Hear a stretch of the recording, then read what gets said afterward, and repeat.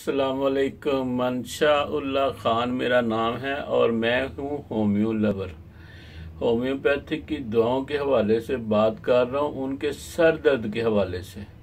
Homeopathic میں اگر سر درد کی پہچان ہو جائے، تو پھر جسم میں بیماری خواہ اس کا نام کوئی بھی ہو، اللہ کے فضل سے آرام آ جاتا ہے۔ آج کی ہماری دعا کا نام ہے ٹیوبر کولینیوم یہ سل کی دعا ہے۔ سل کو ٹی بی یا تپ دک بھی کہتے ہیں۔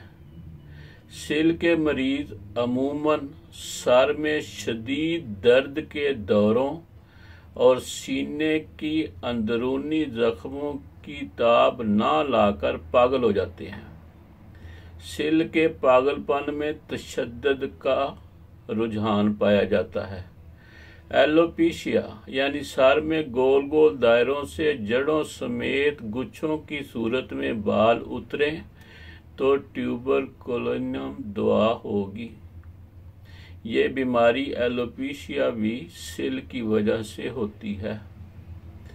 ملیریا بخار میں عموماً سر درد ہوتا ہے، جس کے ساتھ متلی بھی ہوتی ہے۔ تب دک کی علامتیں رکھنے والا مریض جس میں ملیریا نے گہرے اثرات چھوڑے ہوں، اس کے سر درد میں بھی یہ دعا کام آتی ہے۔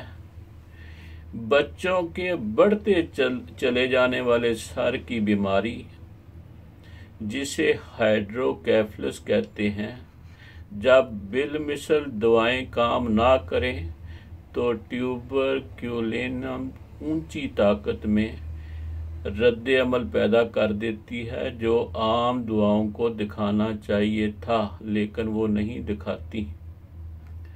طوفان سے قبل، حرکت سے، کھڑا ہونے سے صبح سویرے تکالیف بڑھتی ہیں۔ کھلی ہوا اور آرام کرنے سے تکالیف کم ہوتی ہیں۔ اس کی طاقت جو استعمال کرنی ہے وہ دو سو سے تیس یعنی کہ تیس سے دو سو تک۔ اس میں ایک نوٹ ہے۔ امریکہ کا ایک ڈاکٹر ہے، ڈاکٹر کینٹ۔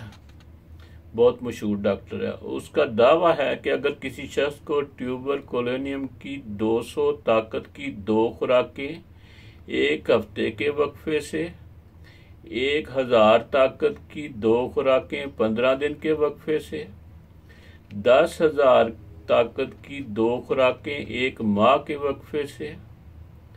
پچاس ہزار کی دو خوراکیں تین ماہ کے وقفے سے۔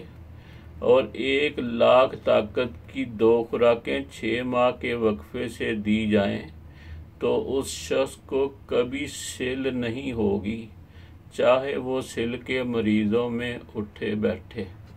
بہت شکریہ جی۔